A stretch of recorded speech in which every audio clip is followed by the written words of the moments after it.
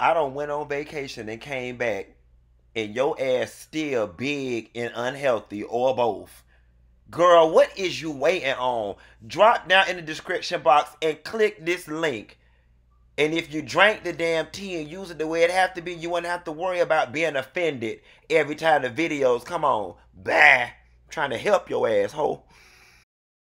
Now, so girl, now let me first start out by telling y'all thank you for whoever that was or the couple of whoever's that was that dropped down on my social media different accounts and told me that the new season of Iyanla was back on and that they did follow up with the Dirty Laundry family from before. Cause baby, I sat down here and watched this thing and I'm not gonna tell y'all no lie. I had to go lay down in the bed for an hour and 30 minutes and collect myself because I lost so much watching this show for two hours. I still ain't got it all back. Y'all want to talk about it? Here it goes.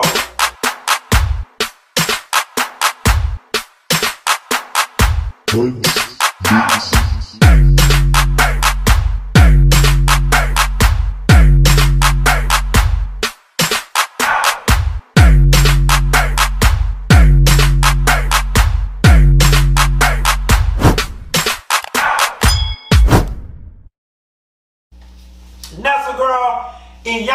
man saying, I've said this so many times before, fix my life. I'm so disappointed, upset, and hurt that mama is choosing for whatever reason to end the season, I mean to end the series after this season, but she has given us a lot and I can single-handedly say Iyanla Vanzant is largely responsible for me being the person that I am today because I've been able to help heal some of my own traumas and family issues through her teachings. Now, there's something that I always wanted Fix My Life and Hoarders to do, which was go back and follow up with these families because being in television and media, y'all, I know that these producers first Loyalty is to making good TV. They can care less than the hell about these goddamn people being healed. Now, Iyanla might personally care about it, and their intentions might have been good when they set out to do these shows. But them folks don't get paid based on them people being healed. They paid. They get paid based on getting ratings. And so, I was always curious to know after filming a show for two or three days, was that really enough to heal a lot of these people? I'm gonna go out on a limb and say most of these people probably still at home with the same damn problems that they were having before, um, or whatever the case may be, just with a little more self-awareness and some tools. But hey, shit, we know if you're following up with the people more than, more damn often than not. Maybe since Iyana Vanzant ass going off, maybe y'all could just do a show where y'all follow up with the people and let them fuss and call it love and hip hop. Okay, nevertheless. I always wanted them and hoarders. I especially want hoarders to go do a follow up with the people that said their house is still nasty. In the words of Juanita Dyke and Bottom, I mean Dyke Bottom, but she might be a Dyke and Bottom too, depending on if she's the strap on or the scrappy. But that's a whole nother video for a whole nother day. This show opens up, and the first thing we find out is the light skinned no neck having twins ain't there or whatever the case may be. I'm curious to know why they were not there, but something in my spirit told me they just didn't want to go and participate because they was being bitches or whatever the case may be. I hope not. It was also disappointing to figure out that Jamil didn't do her homework. Now, Jamil, you was the one sitting up in there with the most damn problems. You was the one sitting up in there with the most of damn gain from the situation and you had no waste to y'all the time to just we went right back there and, and, and, and sat your frumpy ass on the damn chair on the sofa. Now look, you had time to go get your hair fixed all nice, to get it all braided and thrown to the side and get it shaved. You had time for that shit, okay? And obviously, you had enough time to eat, you and your husband both then you need to get some of this tea at the beginning of this video. But you didn't have the time to go follow up with the therapist and to do the types of things that you need to do to really get your life on track. Then you want to sit here and holler about, you know, oh, I need to do these things and I need to get this on track and yada, yada, yada, yada, yada. Pause for the cause. This is to everybody. I was driving the other day and I was thinking about doing a video for this. Listen to me carefully, daughters. Every problem you have in your life is a resource. Period. Hard stop. Everything that is wrong with you, your life, your relationship, there is a resource. Everything that's wrong with your finances, your education, your house, your car, your foot, your bike, your neck, and your bike, there is a resource to help you.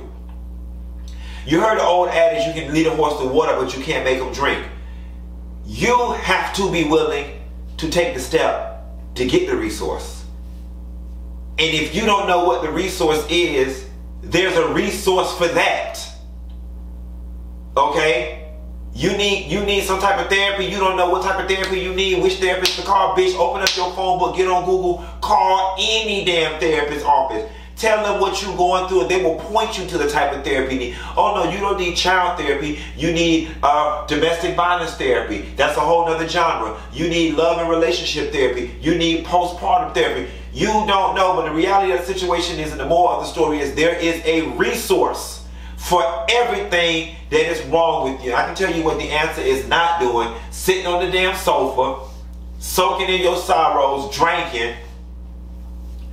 Um, watching TV, and I am going to tell y'all something else that y'all ain't gonna like me for, and I don't give a good goddamn. Your pastor is not the answer, all right? Now, unless your pastor, unless your pastor has an educational background in certain types of therapies, Here's a good added support system to help fortify whatever it is you need. But if you don't have the education in it, or whatever the case may be, that's fine and well. And yes, I understand prayer changes things and spirituality, this, that, and the third, but I also leave you with this. The slaves prayed too. And they the slaves prayed too. And for 400 years, they pastor ain't had an answer. Now, I ain't gonna take it down there because y'all gonna get mad with me and wanna cuss me and all that. And, and, and, and I, we ain't gonna go there today. This one ain't y'all the thing.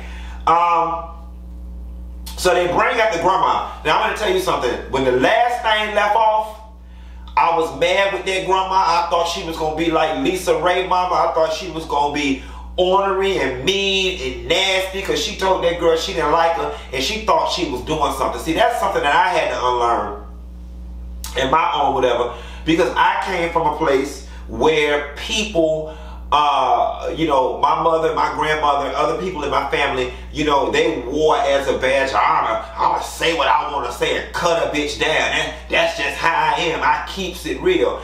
And I had to learn the very hard way through failed relationships and people choosing not to fuck up with my ass that you cannot go around saying whatever the fuck you want to say to people. You can't do it. You can't do it. You can't do it. You can't do it. It's not right. And it doesn't make you strong. It makes you bold. It actually makes you weak as hell. Because it suggests that you can't handle your own, whatever you got going on, so you're going to cut somebody else down. And that's how you harnessing that energy. That's some weak bitch shit. And I had to learn that. Um, but Yana did a very good job of presenting that the real conflict between the mama and the wife as it results to the daddy is that the relationship was set up where the, the, the, the, the daddy was the mama's emotional husband and basically he cheated on the mama with the wife and that's why the mama was forever mad with the wife because that bitch is the other woman and the child that she bore for him was the other woman's child the mistress's child the side piece's child sounded real love and marriage huntsville uh, Arionne Melody Martell right about now it's on the same network that made sense to me and I think once it made sense I think once Iyana verbalized it it made sense to them and I think they began to realize we ain't even got no real beef. I mean, after 19 years, y'all probably do. Um, but I did get upset at first when the grandma was like, you know, oh, you know, we tried to be friendly with her in the beginning and whatever the case may be, shit, like she didn't come around us. No, you didn't. No, you didn't. Because no matter how a person come in the picture, it don't take 19 years to get building a rapport with somebody. It don't take 19 years to build a rapport and to get some sort of level of understanding with somebody. 19 years is a long damn time. It wasn't a whole lot of trying. But again, the grandmother was open to the process and you didn't know what you didn't know. Um, when the grandma broke down, when the Yana was explaining to the grandmother just everything, the emotional husband part, you know, him feeling abandoned, so on and so forth, and she broke down, that was the first time when I broke down. But I appreciated her breakdown because grandma was open to the grandma. Grandma was the most open to the process than everybody. You know, a lot of times you get these grandmothers on there, these older people on there, when you start telling them what they did to you in the past, they want to refute it and they want to debunk it and they want to ask stuff. Grandma just sat there and took it. Grandma put her big girl panties on and she took it. And what I imagine grandma is in search of is peace. You know, you get to a certain point obviously at her age, she had to have a realization and come to an epiphany that the way I was doing it ain't working. And it ain't working because I'm as old as I am right now and I still don't have no peace. So let me just shut up and surrender to the process. And that's what she did. And for that reason alone, I think the grandma will get a large benefit of healing from this whole situation. Um, Iyanla talking to the older brother. You know, that was very telling. It was very sad when he described his upbringing. Then, when the younger sister and brother broke down and started crying and started yelling, that's when I lost it. I had to pause and go walk the dogs for a minute. I completely fell out crying, snot coming out my nose like Viola Davis when she be crying, because it hurt me. And I don't even know them damn people, but it hurt me because I was able to see the hurt on them. Now I'm gonna tell you something. There were times during this TV show where I wanted to slap the shit out the 17 year old boy. I'm trying my hardest with him. I really am. Like I get it that you're going through something, but the love bitch is disrespectful and rude. Okay, he just rude and big and disrespectful. And I suggest and and and and, and y'all said, can't nobody tell him nothing. Baby, the one part that had me hollering is after he had said suck his dick and ran out down the street Bitch, y'all got to cussing out the damn daddy. She said, I ain't finna run behind her. That's your damn problem. You go do it. I said, that's right, baby. Auntie Iyanla had not had enough of that shit, but she brought up a very valid point. Can't nobody say nothing to him. We later found out that him escaping was the mama, you know, had told him in the past to escape before you get into trouble and do something bad. But then Yana had to come back and let her know, well, he did something bad, then escaped. It just was a bad situation. I'm with the older sister, Ashley. Um, I definitely think that those two, the youngest two children, they are old enough now to understand certain things. Their reluctance to not understand why he left that was selfish. Not only was it selfish, it was selfish as hell. Because all they were saying is, you left me, you left me, you left me. And the reality of the situation is the very things that y'all are bitching about is the same things that he was enduring times 10 and y'all ass want to go. Y'all want to leave. So the fact that y'all can't understand why he left, that was a little troubling for me. But I also understand that they're probably only, you know, dealing with the situation from their level of emotional and mental maturity. And for that, we give them a pass. I'm glad to know that they finally did come around to understanding and seeing things his way. Um,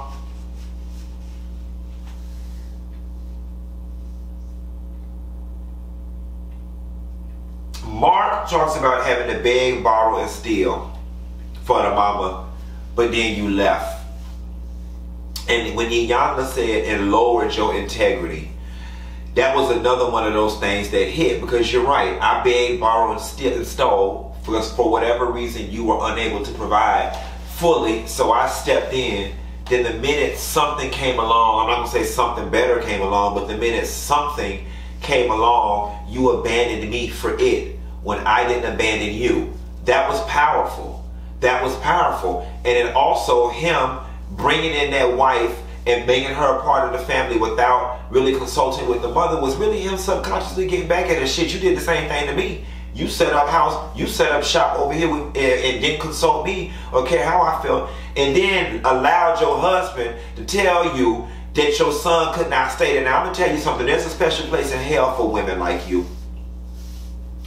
I never understood how somebody could push something out of their body, something could grow in them, and they let a, a man tell them their child is not welcome, or they sit back and let a man mistreat their child, so on and so forth. There are several people close to me who's have shared things with me, friend guys of mine. Some I've heard verbally, others I've witnessed, um, some family members I've witnessed where their moms have, you know, acquiesced to some man um, at the expense of their child. I just have no respect for it. I'd rather me and my child struggle in a homeless shelter than for me to let some Negro come along and treat my child like sloppy seconds.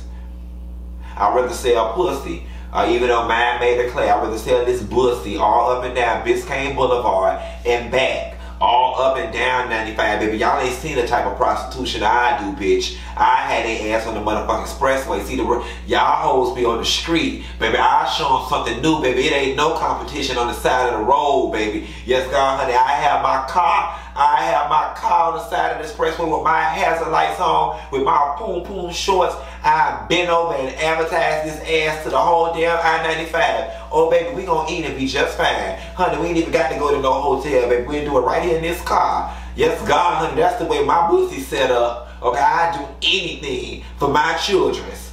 Anything. Except let no man mistreat me or them. Okay, but he can... Clinton, just stop while you're ahead stop while you're ahead. Um, when Iyana was sitting down talking with the three dollars, three daughters, or talking with all the women, I imagined or I felt like Ashley was gaining the most from the process. Now Ashley was talking about her three daughters.